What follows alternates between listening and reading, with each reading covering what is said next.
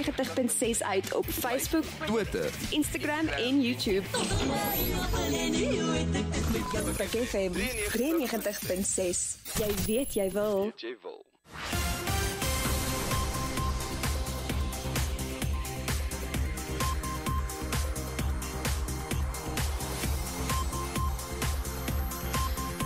Goeienaand, jy is ingeskakel op die Spectrum Show met Ilzaan Miller en ons het so twee spesiale gaste vanaand. Introduce yourself, please. Hi, I'm Matlogonolo Mpati. You can call me Tlogi for short. And hi. Hi, and Hi, I'm Chanel Benadan. I'm a news journalist for Wapad. welcome guys. And tell us a bit why are you here tonight with us on the show? So, um, each Thursday at 7 p.m., we as Wapad talk about various topics. Um, we choose topics that was highlighted from our Instagram and what stood out, and then we just have a discussion about it, tell the readers a bit more. Yeah, exactly. So on tonight's show, we have hot topics for you, including Clash of the Titans. So, Chanel, what can you tell me about Clash of the Titans?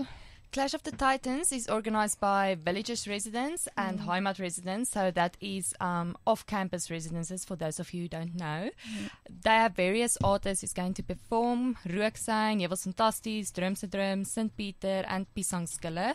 And there is going to be a boxing match between Villages and Heimat. Oh, wow. They, Boxing matches are extremely popular these days in It's very effective, I think. well, um, Overs and Excelsior have their annual boxing night every year, and um, there's also going to be a Miss Titan crowned at this Yes. event. Uh, a lot of specul- uh, people speculate that basically the Clash of the Titans is a copying of that, of the boxing match between the two. Yes, well, they have a lot of the same aspects the mm. shows, the boxing. What makes them a bit different from the Overs and Excelsior mm. boxing match is that the Miss Titan is not, it, there isn't something like a Overs or Excelsior Miss Boxing Night. Mm, so that is yeah. the one aspect where they have a different. Miss Titan, yes. So basically, Miss Titan is every it's every residence, ma- female residence, competing with that Miss Titan. Miss Titan has been going on for a while, actually. Now they're competing with marketing and everything because I know a lot of Miss Titans has to film their own videos for marketing. Is that correct? Yes, that is correct. So they are using Miss Titan as kind of a marketing scheme. So every residence sends like one lady in to represent them, and then they have to make like a video and sell tickets, I think. And um, that is that's free marketing basically. Basically free marketing. And we have exciting news. It's Derby Week for Veritas and Patria. Par, uh, Patria, excuse me, Patria. So, what can you tell us about Derby Week? So Derby Week is a competition. It happens every year hmm. between Patria and Veritas. So they are seen as brother residences because they are literally right next to each other. and so they compete in all hmm. sporting activities. I know on Monday they played rugby. Hmm. Yesterday there was netball.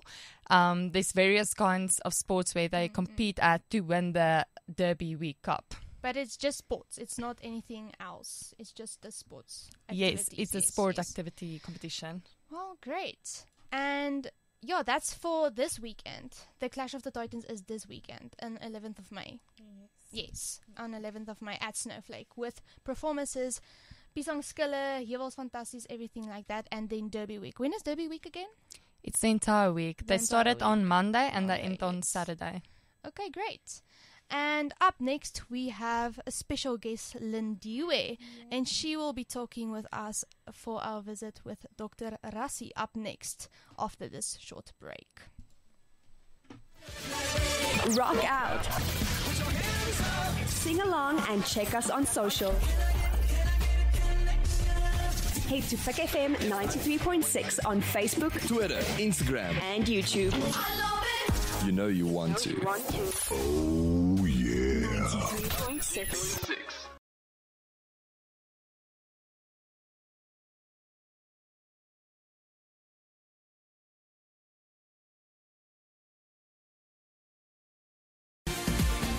You're listening to You're listening to PUK FM 93.6. 93.6. More than just radio.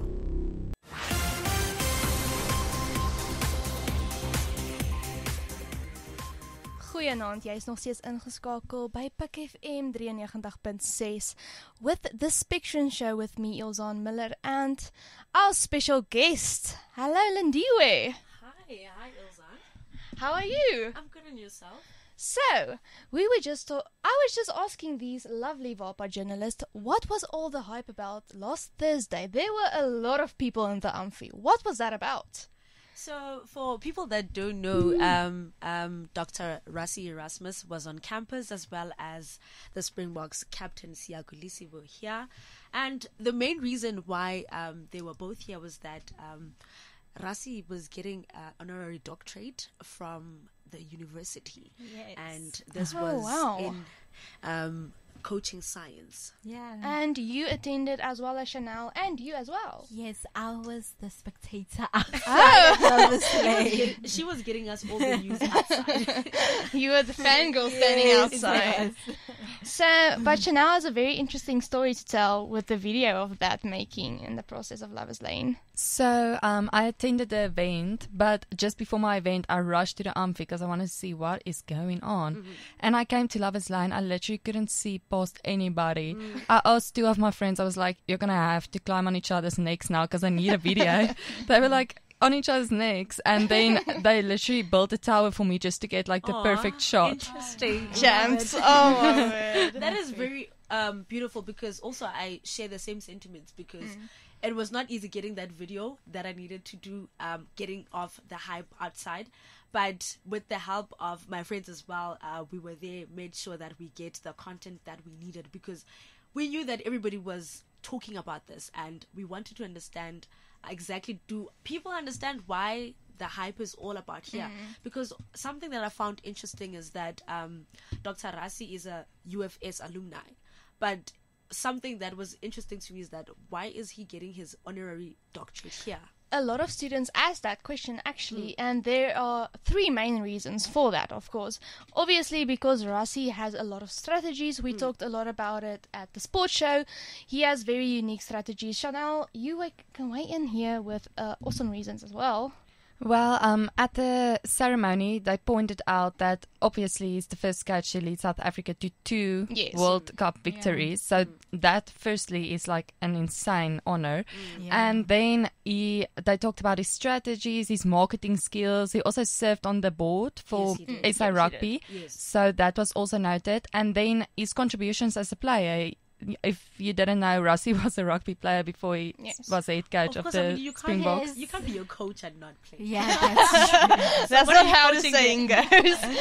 but yes, Rassie has a rich history with rugby hmm. as well. That is the understatement of the year, obviously. But he was not alone. Siya Kolisi joined him as well. It was so exciting. It was really exciting. And the shocking thing is it was 9:30 in the morning. It's quite early for everyone standing here hyping At up Lovers Lane. at Lovers Especially for a student. I came Especially after, for yeah. Students. I came after my semester test to go. Wow. I go.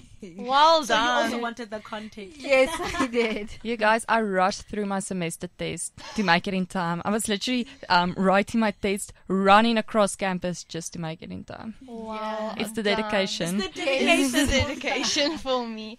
So, did you um get a chance to ask him questions, Lindy? Where or No, it was a press release where Mm. um, all the media houses were there, and um, mostly it was focusing more on um, the people who Mm. were here from outside, and we really didn't have a chance to actually ask in-depth Mm, questions because also he um, had a short period of time with us because he had to go to another appointment. Oh, yeah. Uh, but uh, also Chanel can touch on that as well. Yes, well, um, it was very rushed because the news release took a while because everybody wanted to photo with Rassie. But after there was only 20 minutes for questions, and we didn't get a lot of speaking turns because News 24 and like big journalists were there, and they, it was well. yeah, it was also broadcast. Um, tit, so we just waited our turn and we unfortunately didn't get it in. But afterwards, Rassie was, was already late for his appointment and he still took time to like take a photo with us, introduce himself. So I think that is um, something that really stood out to me because he, he wanted, um, he put our interests before his own, just to like for His us. humility. Yeah, because Yeah. it's a big deal for us. For him, it's not a big deal to meet us, but we were like, we really want to meet Rassie. So it's very nice about that. That's Yeah. amazing. Sure. Once in a lifetime experience.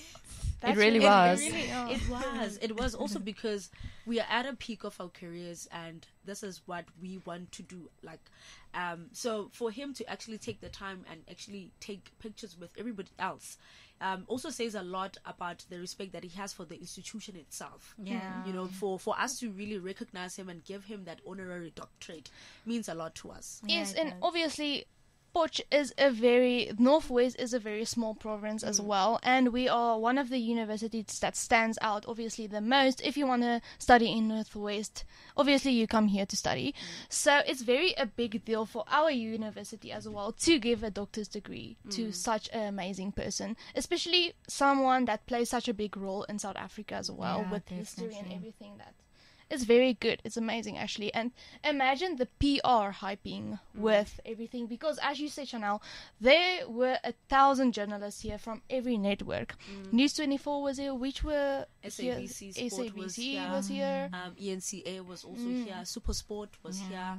So all the big brands, um, Yeah. the media houses were here. Can I tell you a fact I read on the stream media? They said um, the whole Rassie thing coming here reached 9.6 billion people via Yeah, on it- online it media did. and newspapers and But- TV. yeah. But I mean the videos on Instagram and Facebook Yeah. and everything. We just saw videos, and the amazing thing I loved about it, I saw, just saw purple, gold, and green. Oh, Yes. It Oh, was yes. purple, Yeah. gold, and green. Just standing there, everyone was hyping up. I loved it. But also, the- what stood out for, for me as well was in, in, in the auditorium, mm. and Chanel can attest to this. Right after having to hand over the certificate to him, and then Iggy came in, gave him a T-shirt and another certificate was just beautiful. It changed the whole It mood was. in the auditorium. It was just beautiful to witness. Yes, and um, of course, um, Siya Kolisi accompanied him at the Northwest, and he went to greet every Young Guns player, that is our rugby team who won um, the cup this year, with the hand and congratulated them. That was also Wow. very nice to see because he took time. He, he walked up to them, he greeted them, congratulated them. It says a lot about his character. Yeah. Very Yes. good mm. sportsmanship. Very, and that's a very big thing mm. for. And he flew in the all the way from France as well. Yes, but I think that was a very good tactic because everybody was like shouting the crowd, Siya. And I heard like this Afrikaans guy was shouting, Captain, oh my captain. it was so I mean, funny. He would, we wouldn't have the coach here alone because more than anything, we wanted to see Siya. Hmm. If you- Yeah, we did. exactly. If you say Springboks, you want to see Siya. Yes, we do. We need. and that golden trophy also. yes, he did. He bring he brought the cro- Yeah. golden trophy with him as well. The Webb Ellis. Do you know what was also funny? Like, he took the trophy off the stand and somebody was walking behind him with the stand of the trophy. but I would- I would have volunteered to do that. 'cause, Of like, course, I mean, Yeah. Of course. Imagine walking behind Siya Siakulisi, guys. Oh. but we're gonna have some interesting news and groundbreaking news from Potchefstroom locals, and our next break coming up next. Stay tuned.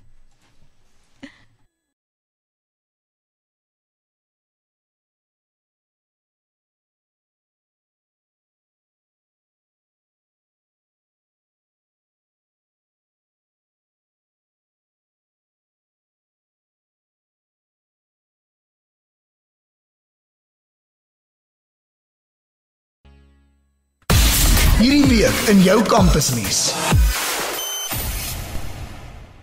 Jy is nog steeds ingeskakel by PUK FM 93.6 met ons Spectrum show met my Ilsan Miller en my twee pragtige gaste van Wapad.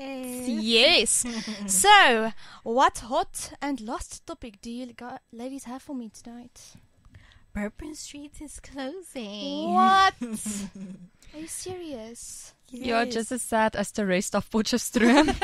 Everybody's um very, very upset about that. I just I'm I'm shocked, guys. I'm shocked. So for our audiences who listens out there, Bourbons has been this has been talk for a while now. Actually, Bourbons closing because the building is already sold, and the bu- building has been sold for 20 miljoen rand. 20 million rand. Can you believe it? Oh my goodness! Yeah. And um, we only have one month or two months left before it closes.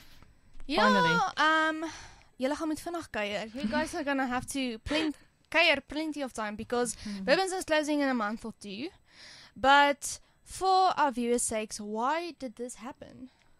Well, um, the owner of Bourbon Street was concerned about the safety, Mm. which is actually very an, a very nice thing because he's worried about the students' safety. That's why he Yeah. closed it in the first place. I mean, I understand why. I would as well, if I was the owner of a club or a bar or something, be concerned for the student safety because imagine something happening and you playing a part in it. Yeah, and the Bult is not really safe. The eh? Bult is not safe because the Bult is very dark as well. Mm. And the owner of Bourbons is Albert Beaumont, and he is also the owner of Snowflake as well. Yeah. So, but he's holding the building for a NGO, Fire and Fragrance, if I'm correct. Yes, you are correct. So NGO is a Bible school. A Bible school. So it serves as a church, but it's also they do like Bible teachings and they do outreaches. It's a um the establishment. It's a very um big in South Africa. Like Mm. they have um A lot of camp. yeah they have a lot, they- of a lot of campaigns. yeah They- and They are very well well known for their work, and they're in, in association with Unite 180 as well, Yes. with the building next to it. I think. on top, but Unite 180 is on top. Yes, of and. Unite they are not related to one Unite 180, but now Unite 180 is at the top and Fire and Fragrance is Yeah. at the bottom. So obviously there there is going to be some kind of relationship building with that with the Bible school, but tw- 21 20 ra- million rand is very is a lot of money, guys. And speaking of, a lot of students comment actually about because Wapad posted a story recently about this weekend about Closing. Yeah, there was an article posted, and we got a lot of comments Mm. from PUK alumni and from the students. Mm. And a lot of people raised the question, like, how did you manage to gather 20 million rand? How did they manage to get that kind of funds? Honestly, it's an NGO, so they have access to a lot of funding. And the question is, how long have uh, they been planning to come across Bourbons? Maybe the owner was in association with them, and they were planning to close Bourbons for a long time. Well, the owner said um, he got a lot of offers, but he Mm. chose to establish a, they call it a geestelike footprint. A spiritual footprint. Yes. Yes. on um the Bult. So it was by choice that he chose this establishment for Mm. the um place to sell it to. It Yeah. wasn't like the highest offer or anything. He chose this Mm. establishment. He he chose the owners. He didn't choose it for the money or anything like that. No. That's very humbling. That's very true for his character. It says a lot about his character as well. But I heard a lot of students are complaining about the economy going down on the Bult because obviously there are a lot of food places on the Bult, and a lot of people are making their money with students buying food after they went into bourbons. yes. Um, I think like Varsity Cafe is on the Mm. Bult, and we've got Insleep and Chicken Licken. Yes. So it was kind of like a tradition in Potch. You go to Bourbons and then you go Yeah, to yeah, Chicken yeah. Licken or Varsity, um, Varsity. yeah. And now also the Bult rules have changed. So Mhm. the liquor license is only until 2 a.m. So that is going to change the whole environment for Potch because usually it's Oh, like wow, yeah. You go out until 4 a.m. Like Mm, mm. that was It's- the that was the ritual. It's going to change the whole dynamic because obviously people are planning, oh, we're going to Texas, then maybe Impala, then we're going to Skit in Bourbons, and then we're going to Chicken Licken, finishing the night off. And now the whole dynamic's changing because Bourbons is closing. A lot of uh, places are not. Um, opening until um, closing until four. It's now until two in the morning. So the question is, how is it going to change? And people are already upset because MVG is closing as well. MVG closed as well. Yeah, it Yes. close. And And- it's now a new club though. Yeah, um. Club Fika. Fika. Yeah. Fika, yes, Fika. Club Fika. I haven't been. I don't know if you guys have been. It hasn't opened yet, but I feel like they just um establishing it. Yeah, Just You know, so, yeah. hyping it up Yes. basically to gain a, a little bit of more crowd. I don't know if things are going to ever be the same on the Bult again because as you said, the owner of Bourbons was afraid of the safety, and he even said he's fearing for becoming it like the Strip in Pretoria.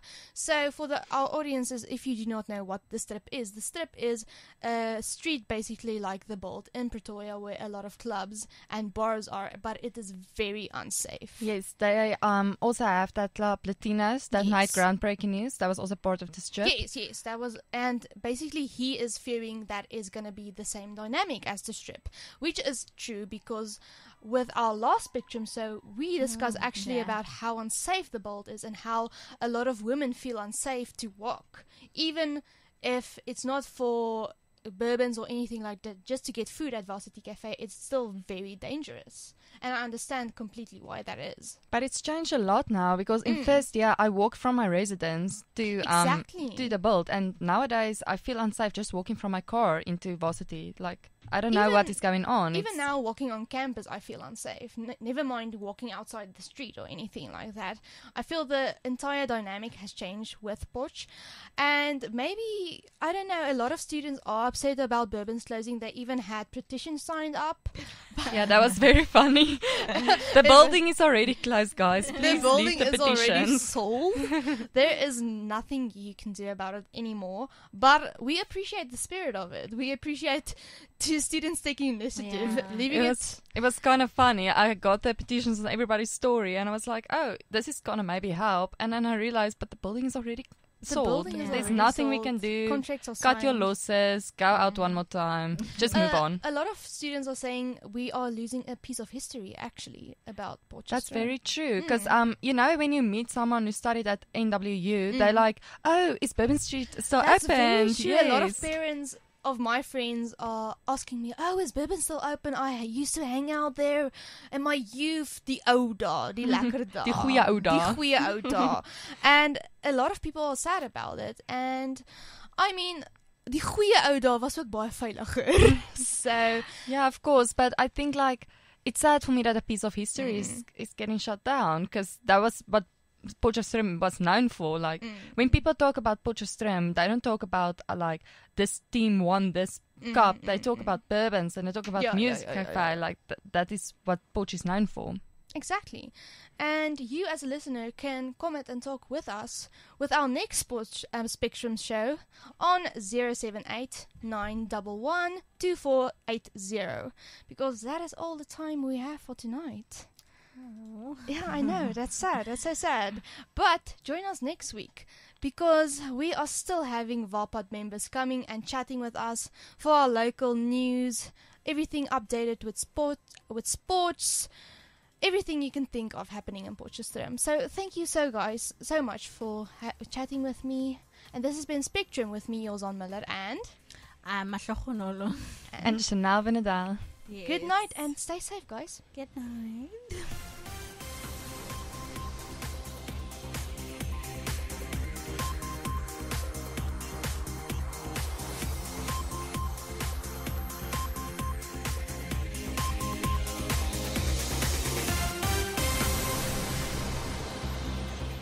What's your favorite radio station? This is Suck FM. Are you freaking kidding me? I find your lack of faith disturbing. This is Suck FM. 93.6.